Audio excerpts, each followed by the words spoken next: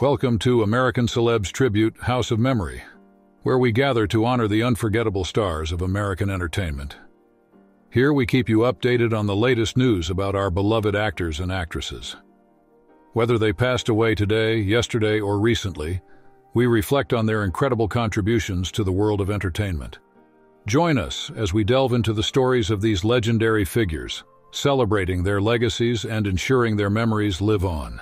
Stay tuned for updates on the departures of famous celebrities in 2023 and 2024. Today we will find the cause of death of 29 beloved actors and actresses. Look back together over the years with memorable memories of the lives of our beloved characters. Kamar de los Reyes, One Life to Live and Call of Duty actor, dies at the age of 56. Kamar de los Reyes, who starred in the long-running daytime series One Life to Live, and multiple installments of the Call of Duty video game franchise has died. He was 56. Lisa Goldberg, a publicist for the actor's wife, Sherry Saum, confirmed De Los Reyes' death in a statement shared with the Associated Press.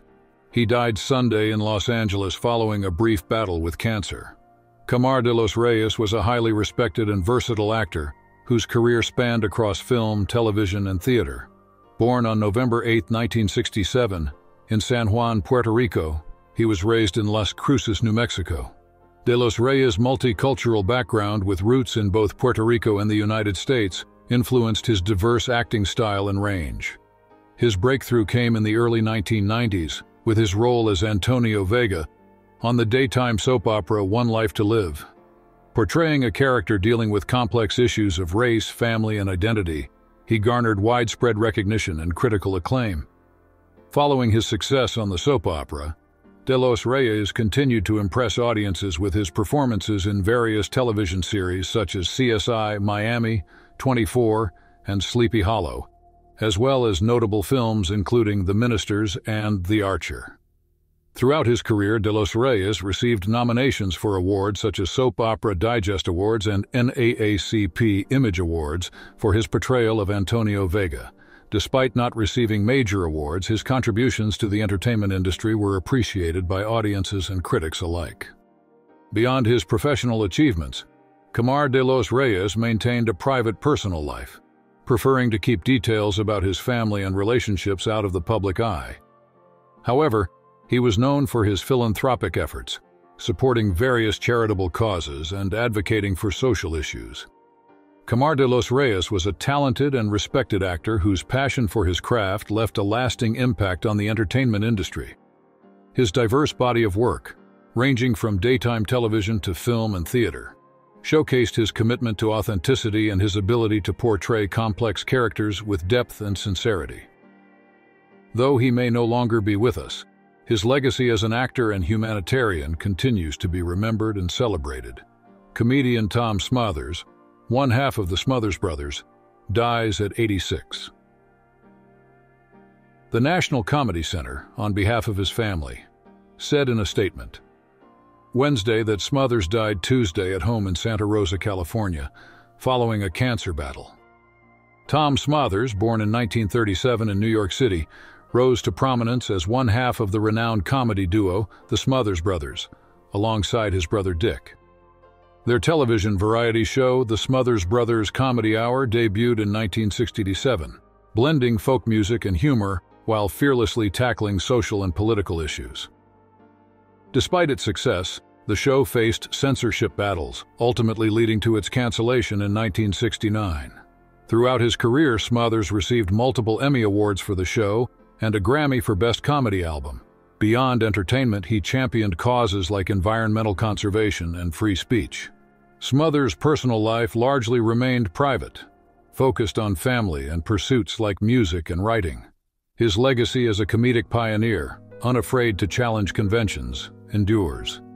Smothers' influence on comedy and his advocacy work continue to inspire generations, leaving an indelible mark on the entertainment industry and beyond. Tom Smothers' passing marks the end of an era, but his laughter and legacy will resonate for years to come. Tom Wilkinson, actor in The Full Monty, dies at 75. Tom Wilkinson, an admired performer on the British stage who in middle age became a skillful character actor, and supporting star in a wide range of movies that gained popularity and acclaim in the United States, including The Full Monty, Eternal Sunshine of the Spotless Mind, and Shakespeare in Love, died on Saturday. He was 75. Tom Wilkinson, a celebrated British actor born in 1948, passed away, leaving behind a legacy of remarkable performances. Raised in a family with a passion for theater, Wilkinson's career began on stage before he transitioned to television and film. His breakthrough came with The Full Monty in 1997, propelling him to international recognition. Wilkinson's talent was evident in diverse roles from In the Bedroom to Michael Clayton, earning him Oscar nominations and numerous awards, including BAFTA and Golden Globe accolades. Despite his success, he remained private about his personal life, focusing on his craft. Known for his dedication and commitment to characters, Wilkinson's performances were characterized by depth and authenticity, resonating with audiences worldwide. Beyond acting, he displayed interests in literature, music, and art, reflecting his multifaceted persona. Tom Wilkinson's passing leaves a void in the entertainment world, but his contributions will be remembered fondly, inspiring future generations of performers. Parasite actor Lee Sun-kyun found dead in Seoul. Lee, 48, was found after his wife reported to police that he had left home, and she had found what appeared to be a suicide note, South Korean news agency Yonhap reported. Lee Sun-kyun, a beloved South Korean actor, born on March 2, 1975 in Seoul, showcased his remarkable talent across television dramas and films. Graduating from Hanyang University with a degree in theater and film, Lee embarked on a successful career, starting with his television debut in School 2, 1999. Renowned for his versatility, Lee delivered memorable performances in dramas like Pasta, 2010, and My Mister, 2018, as well as in films such as Paju, 2009, and A Hard Day, 2014. His skillful portrayals earned him prestigious awards, including Best Actor at the Blue Dragon Film Awards and Grand Bell Awards. Despite his public acclaim, Lee guarded his personal life, sharing it selectively. He married actress Jeon Hye-jin, with whom he had two children, showcasing a strong bond.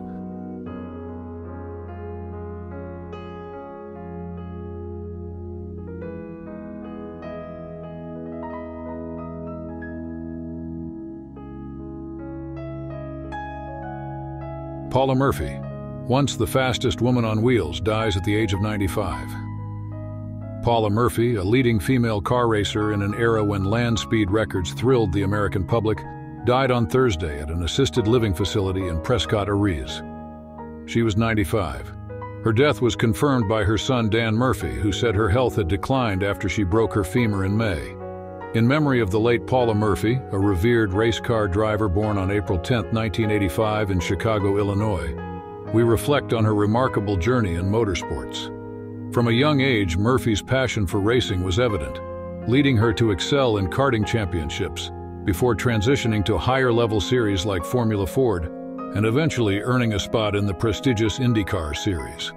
Throughout her career, Murphy's exceptional driving skills and fearless approach on the track earned her numerous victories, podium finishes, and accolades including IndyCar Series Rookie of the Year and various Drivers' Championships. Beyond her racing achievements, Murphy was known for her integrity, sportsmanship, and dedication to philanthropic causes. She cherished her family and friends, acknowledging their unwavering support throughout her career. Despite her untimely passing, Murphy's legacy as one of the sport's greats endures, inspiring generations of aspiring race car drivers to chase their dreams with determination and perseverance. May her memory continue to live on in the hearts of motorsport enthusiasts worldwide. Laura Lynch, a founding member of the country music group the Dixie Chicks, died on Friday in a car crash in Texas. She was 65. The death was confirmed by Nicole Endres, a justice of the peace in the area.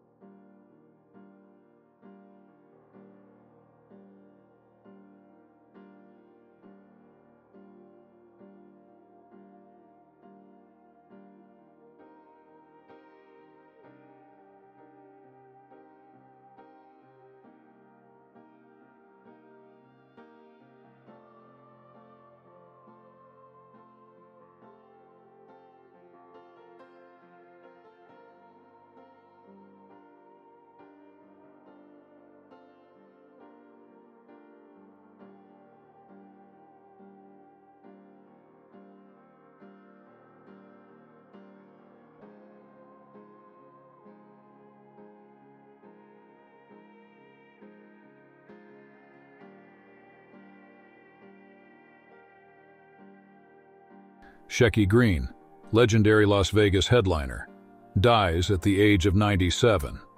Shecky Greene, the legendary Las Vegas headliner and stand-up comedian who entertained audiences for years while battling demons that included stage fright, alcoholism, prescription drug abuse, and gambling, died Sunday. He was 97. Greene died on New Year's Eve of natural causes at his home in Las Vegas. His wife of 41 years, Marie Musso Greene, told the Las Vegas Review-Journal, Shecky Greene, born Fred Sheldon Greenfield, was a comedic legend known for his rapid-fire wit and improvisational style. Rising to prominence in the golden age of comedy, Greene became a fixture in Las Vegas and earned widespread acclaim for his performances at prestigious venues like the Sands Hotel. Throughout his career, he received multiple Emmy Award nominations for his innovative and impactful contributions to comedy. Despite personal struggles, including battles with addiction, Greene remained resilient, finding solace in making others laugh. Offstage, he was known for his down-to-earth demeanor and commitment to philanthropy, cherishing time with his family and actively supporting charitable causes. Greene's legacy as one of the greatest comedians of his time lives on, inspiring aspiring entertainers worldwide. He passed away, leaving behind a legacy that continues to celebrate the transformative power of laughter and his enduring impact on the world of entertainment. Ana Ofelia Murguia, Mexican actress and voice in Coco, dies at the age of 90. Ana Ofelia Murguia, one of Mexico's most acclaimed actresses, whose voice acting as Mama Coco in the animated movie Coco brought her international recognition, died on Sunday. She was 90. Her death was confirmed by Mexico's National Institute of Fine Arts and its National Theater Company, which did not say where she died. Ana Ofelia Murguia was a Mexican actress, celebrated for her remarkable contributions to film, television, and theater. Born on December 8, 1933 in Mexico City, Murguia's passion for acting blossomed early in her life, driving her to pursue a career in the entertainment industry. Over six decades, she showcased her talent in diverse roles, captivating audiences with her authenticity and depth. Murguia's career began on the stage, where she honed her skills and garnered recognition for her performances. Transitioning to cinema, she starred in numerous acclaimed films, collaborating with esteemed directors and earning praise for her portrayal of complex characters. Her versatility extended to television, where she became a familiar face in series and soap operas, captivating viewers with her charisma. Throughout her career, Murguia received numerous awards and accolades, affirming her status as a powerhouse in the entertainment world. Despite her public success, she maintained a private, personal life, focusing on her craft and using her platform for philanthropic endeavors. Beyond acting, Murguia's legacy includes advocacy for causes dear to her heart, leaving a lasting impact on her community. Her dedication to her artistry and her commitment to making a difference serve as inspirations to aspiring performers and admirers alike. Ana Ofelia Murguia's passing leaves a void in the world of Mexican entertainment, but her indelible mark as a talented actress and compassionate advocate ensures that her legacy will endure for generations to come.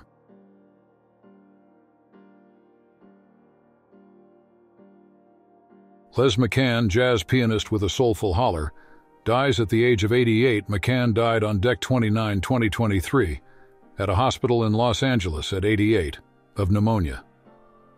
Alan Abrahams, a veteran producer and record executive who served as his manager, confirmed his death, noting that McCann had lived at a nursing facility for the last four years.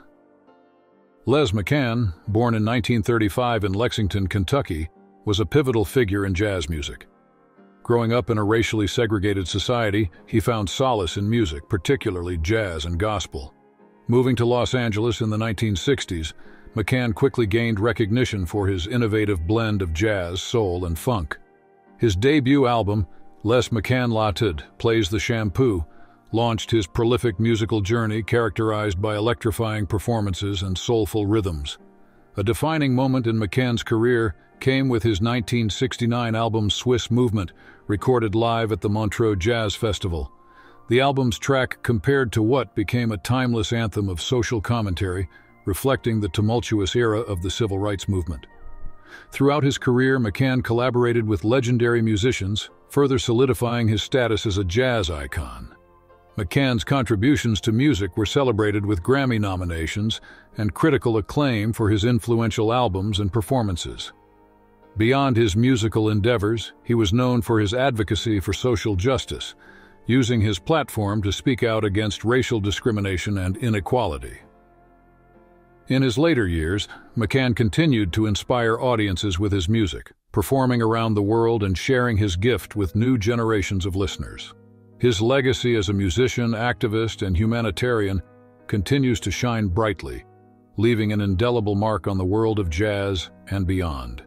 Trailblazing former Repier Eddie Bernice Johnson, who served nearly 30 years in Congress, dies at 88 Eddie Bernice Johnson, who blazed a trail as a black woman in healthcare and government, first as a nurse in Dallas, then as the first black state senator from the city since Reconstruction, and then in 15 terms in the U.S. House of Representatives, died on Sunday. She was 89. Her death was confirmed by her son, Dorrance Kirk Johnson Sr., who did not say where she died. Eddie Bernice Johnson was born on December 3, 1935, in Waco, Texas, and grew up in a segregated society. Despite these challenges, she pursued education, earning a Bachelor of Science in Nursing from St. Mary's College. Johnson's early career focused on psychiatric nursing and education, reflecting her dedication to public service. In 1972, she began her political journey, serving in the Texas House of Representatives until 1977, and later as a member of the Texas Senate from 1987 to 1993. In 1992, she made history as the first registered nurse elected to the U.S. House of Representatives, representing Texas's 30th congressional district. Throughout her tenure in Congress, Johnson prioritized healthcare reform, education, environmental protection, and scientific research. She served on the Committee on Science, Space, and Technology, becoming its first female and African American chairperson. Johnson received numerous awards and honors for her advocacy, particularly in healthcare and environmental issues. Her personal life reflected her commitment to faith, community, and resilience against discrimination in politics. Despite facing challenges, Johnson remained dedicated to her constituents, family, and promoting health and wellness. Her legacy exemplifies integrity, resilience, and dedication to public service, inspiring generations of women and minorities in politics. Eddie Bernice Johnson's passing marks the end of an era but leaves behind a legacy of tireless advocacy and leadership that will continue to inspire future generations. Richard Romanus, actor in Mean Streets, dies at the age of 80. Richard Romanus, the tough guy character actor best known for his turn as Michael Longo, the Little Italy loan shark who gets into it with Robert De Niro's Johnny Civello and Martin Scorsese's Mean Streets, has died. He was 80. Romanus died decked at 23 in a private hospital in Volos, Greece. His son, Robert Romanus, told The Hollywood Reporter. In remembrance of Richard Romanus, we reflect on a life dedicated to the art of acting, spanning decades of captivating performances on screen and stage. Born on February 8, 1943, in Barre, Vermont, Romanus emerged from humble beginnings to become a respected figure in the entertainment industry. His career began in the late 1960s, marked by his debut in the crime drama series The Outsider, which paved the way for a prolific journey in film, television, and theater. Notably, Romanus's portrayal of Michael in Martin Scorsese's Mean Streets 1973 showcased his ability to embody complex characters with depth and authenticity. Throughout the 1970s and 1980s, he exhibited remarkable versatility, seamlessly transitioning between genres and mediums. From gritty crime dramas to heartfelt family comedies, Romanus captivated audiences with his nuanced performances. While major awards may have eluded him, Romanus earned critical acclaim and a devoted fan base for his contributions to storytelling. Beyond the spotlight, he remained a private individual, valuing moments with loved ones away from the glamour of Hollywood. His commitment to authenticity both on and off screen underscored his approach to life and art. In his personal time, Romanus cherished his role as a family man, embodying the same sincerity and depth that characterized his performances. As we bid farewell to a talented actor and cherished individual, we honor Richard Romanus's legacy, defined by passion, dedication, and an enduring impact on the world of entertainment. Masashi Ozawa, best known to WWE and pro wrestling fans as Killer Khan, has died at the age of 76. WWE announced Ozawa's passing Saturday and remembered him for his multiple stints with the company in the 1980s.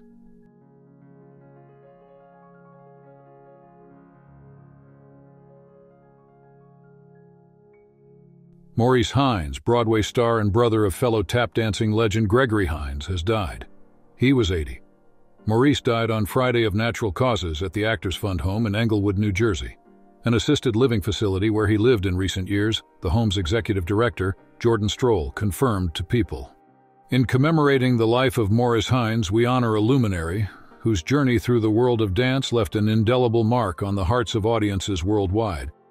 Born into the rhythm of New York City, Maurice's early introduction to tap dance by his mother, Alma, sparked a lifelong passion for the art form. His career spanned decades, marked by electrifying performances on Broadway, film, and television, where he showcased his unique blend of elegance and exuberance. Maurice's collaborations with icons like Duke Ellington and his brother Gregory elevated him to legendary status in the realm of entertainment. His Tony Award-winning choreography in Uptown, It's Hot, stands as a testament to his creative genius and enduring impact on the performing arts. Beyond accolades, Maurice's personal life reflected a deep commitment to diversity and inclusion, advocating for representation within the industry and nurturing emerging talent. Yet amidst his professional success, Maurice remained grounded in gratitude for his upbringing and the unbreakable bond with his brother Gregory both on and off the stage. Their shared love for dance epitomized the transformative power of art to inspire and unite people from all walks of life. Maurice Hines' legacy continues to resonate, reminding us of the timeless allure of tap dance and the enduring spirit of creativity, passion, and artistry. He embodied Gil de Ferran, former Indy 500 winner and F1 sporting director, dies aged 56, Gil de Ferran, the 2003 Indianapolis 500 winner and holder of the closed-course land speed record, died Friday while racing with his son at the Concours Club in Florida. Multiple former colleagues confirmed to the Associated Press. He was 56. Fellow Brazilian driver Tony Kanaan said de Ferran was with his son Luke at the private course in Opa-locka, Florida, when he pulled over and said he wasn't feeling well. Kanaan said de Ferran apparently suffered a heart attack and could not be revived. In remembrance of Gil de Ferran, we honor a legendary figure whose illustrious career in motorsports left an indelible mark on the racing world. Born on November 11, 1967 in Paris, France, de Ferran grew up in Sao Paulo, Brazil, where his passion for racing was ignited. Rising through the ranks of karting, he showcased exceptional talent, eventually transitioning to open-wheel racing in the early 1990s. De Ferran's professional career soared as he dominated the CART series, securing consecutive championships in 2000 and 2001 with Team Penske. His prowess behind the wheel was further exemplified by his triumph at the prestigious Indianapolis 500 in 2003. Beyond his on-track success, de Ferran was renowned for his humility, intelligence, and fluency in multiple languages. Retiring from full-time racing in 2003, de Ferran remained a prominent figure in motorsports, serving as a team principal and mentor to emerging talents. His contributions to the sport were recognized with inductions into the Motorsports Hall of Fame of America in 2019 and the Brazilian Motorsport Hall of Fame. Off the track, de Ferran prioritized his family and engaged in philanthropic endeavors, supporting initiatives focused on nurturing young racing talent and promoting road safety awareness. Though he may have departed from this world, Gil de Ferran's legacy continues to inspire and resonate within the hearts of racing enthusiasts worldwide, leaving behind a lasting impact on the sport he loved dearly. Sandra Reeves Phillips, actress and singer on stage and screen, dies at the age of 79. Sandra Reeves Phillips, the actress and singer who appeared in the films Round Midnight and Lean on Me, and portrayed six legendary divas in a one-woman tour de force stage show, has died. She was 79. Reeves Phillips died Friday at her home in Queens, family spokesperson Sandra Landman told The Hollywood Reporter. She had been in failing health since falling off a stage during a performance of Raisin in St. Louis in 2004 and enduring serious auto accidents in 2014 and 15 in New York. In remembrance of Sandra Reeves Phillips, we reflect on the remarkable life of a multi-talented performer who left an indelible mark on the world of entertainment. Born on December 23, 1946 in Mullins, South Carolina, Sandra's journey towards greatness began in a musically inclined family, fostering her passion for performance from a young age. Throughout her career spanning theater, film, television, and music, Sandra's powerful and soulful voice stood as a testament to her dedication and hard work. She excelled in various genres, captivating audiences with her stunning vocal interpretations and magnetic stage presence. Notably, her performance in Broadway's The Late Great Ladies of Blues and Jazz, a tribute, garnered critical acclaim, earning her prestigious nominations for Tony and Drama Desk Awards. Beyond her professional achievements, Sandra was known for her advocacy for social causes, including racial equality, women's rights, and accessibility to the arts for underprivileged communities. Her commitment to making a positive difference in the world reflected her genuine spirit and compassion. Despite her busy career, Sandra cherished her personal life and the support of her loved ones. While often on the road performing or engaged in projects, she remained grounded in her roots and found solace in family and friends. In summary, Sandra Reeves Phillips leaves behind a legacy of talent, dedication, and compassion. Her contributions to the arts and advocacy for social justice will continue to inspire and resonate with audiences for generations to come.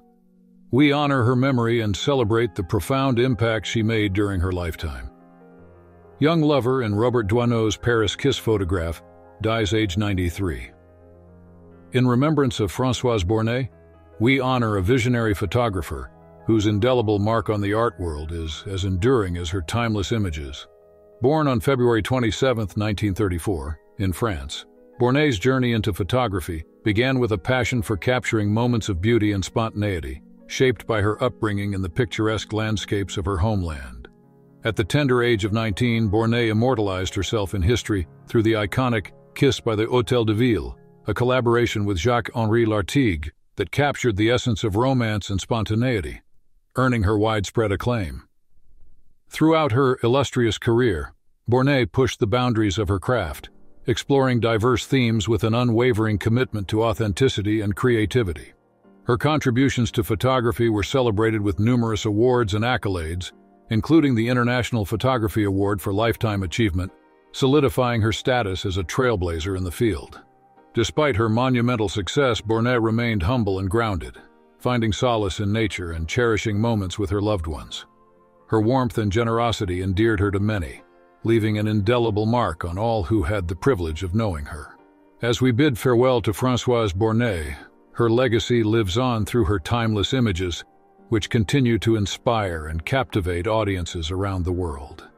Her profound impact on the art of photography serves as a reminder of the transformative power of creativity and the enduring beauty of the human spirit.